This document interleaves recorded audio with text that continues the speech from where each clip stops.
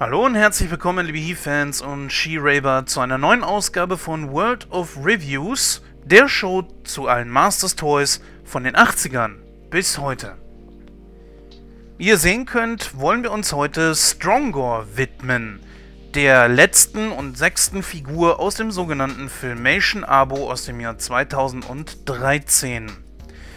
Ja, warum eigentlich Strongor? Denn im Grunde kennen wir ihn ja als Strong Arm.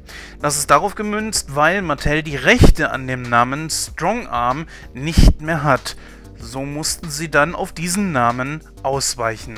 Trotzdem findet der Name Strong Arm in der Bio, die wir später noch hören, Verwendung. Strongor bzw. Strong Arm stammt aus der Filmation-Episode She-Demon of Phantos, welche den deutschen Titel Die verhexte Königin trägt.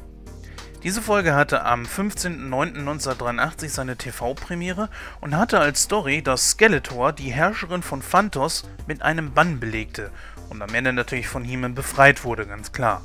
Leider war es Strongarms erster und auch sein letzter Auftritt in dem gesamten Cartoon. Doch trotzdem zählt dieser Charakter zu den prominenteren Filmation-Kreationen und ist neben Lizardman, Fangman und ein paar wenigen anderen einer der von den Fans als Figur gewünscht wurden. Ja, und hier ist er nun, beinahe genau 30 Jahre nach der TV-Premiere der Episode. Und wie man anhand der Bilder sehen kann, hat sich Mattel bei der Figurenumsetzung wirklich sehr nah an die Cartoon-Vorlage gehalten. Ja, und hier haben wir Strongor in seiner Verpackung. Was die Biografie betrifft, hält Matilda folgende Geschichte für uns parat. Damus verlor seinen rechten Arm und Teile von seinem Gesicht, als eine Faltpresse versagte.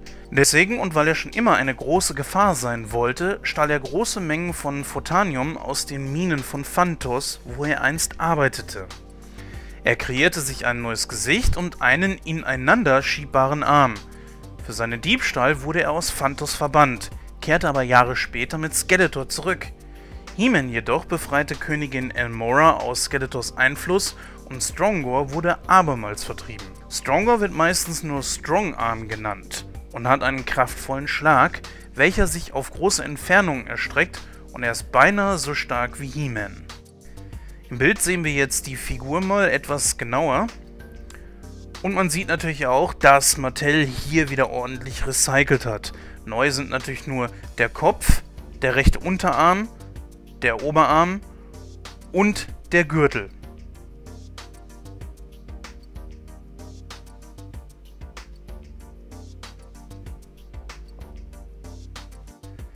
Strongor kommt natürlich aufgrund seines Recyclings mit allen Bewegungspunkten, die auch jede normale Masters of the Universe Classic Standardfigur hat, wie He-Man zum Beispiel.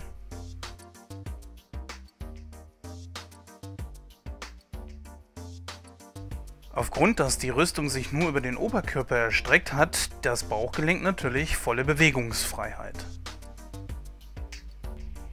Der Metallarm lässt sich im Grunde genommen wie jeder ganz normale Arm auch bewegen. Oben an der Schulter, natürlich am Ellbogen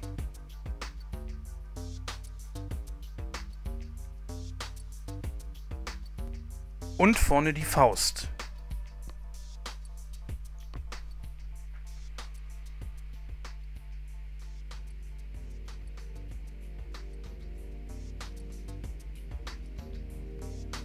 Und natürlich sind da noch die Fuß- und Beingelenke.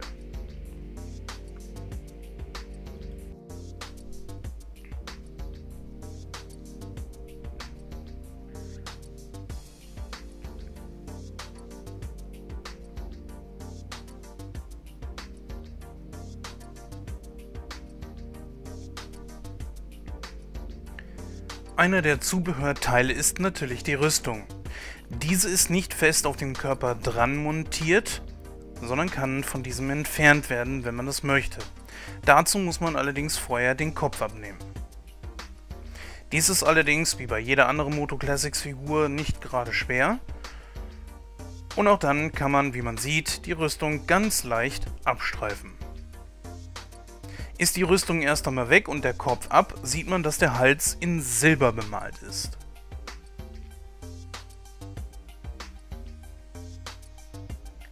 Ein weiteres Zubehörteil ist natürlich der separate Arm, den man auch ganz leicht an die Figur dran machen kann.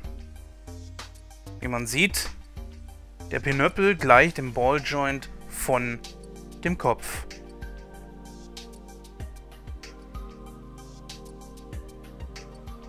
Und das sind die Zubehörteile. Der etwas kürzere Arm, der austauschbare längere Arm und natürlich der Blaster. Hier muss man allerdings sagen, dass mein Rezensionsexemplar doch arg schlecht verarbeitet ist, wie man an den verschiedenen Punkten hier sieht. Und die Bemalung lässt ebenfalls zu wünschen übrig.